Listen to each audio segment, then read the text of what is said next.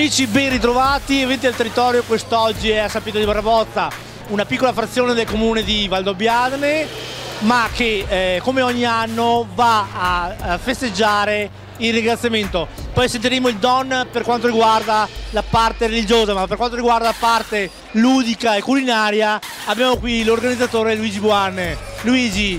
grazie di averci invitato, raccontaci un attimino come, cosa eh, succede in questa giornata particolare. Allora, niente, questa è una giornata particolare che noi facciamo appunto ogni anno, eh, appunto il ringraziamento. Questa appunto festa viene eh, fatta tramite tante asso associazioni del posto, tra cui c'è la Proloco, c'è eh, l'Avis, c'è eh, il boss de Acurta e i cacciatori e gli alpini, mi raccomando, anche gli alpini quindi di conseguenza questa festa viene fatta in ricorrenza al 10 sempre di questo mese per fare un po' un'evviva alla nostra zona che è molto bella e di conseguenza questa zona viene eh, percepita da molte persone, saremo quasi un 150 persone e con questo viene fatto un pranzo vero a chilometri zero, cioè prodotti nostrani, prodotti nostri, quindi altro non posso dirvi, vi dico solo un'evviva e grazie a tutti voi. Abbiamo visto prodotti chilometro zero, eh, Valdobbiadene di OCG, a Fiumi,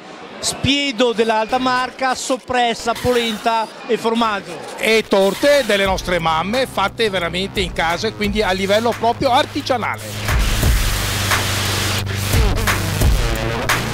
Don Romeo, eh, una festa, il, quella del ringraziamento, che dal punto di vista religioso eh, significa per il contadino ringraziare il nostro Signore per tutte le colture e i raccolti avvenuti durante l'anno. Sì. Sì, senz'altro una festa in cui ringraziamo il Signore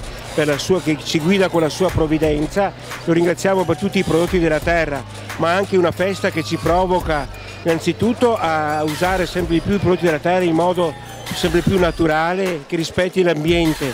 e poi anche ad aprirci alla solidarietà di chi ha meno di noi e questo è molto importante. Un altro aspetto per cui questa festa qui nella nostra comunità è importantissima è perché è organizzata da tutti i gruppi, associazioni presenti nella comunità ed è un modo di trovarci assieme, di vivere anche la fraternità e di crescere ecco bene come persone, come comunità cristiana. Uno spazio di gratuità in cui ci si incontra, si relaziona con gli altri in maniera bella e si cresce anche proprio come comunità cristiana.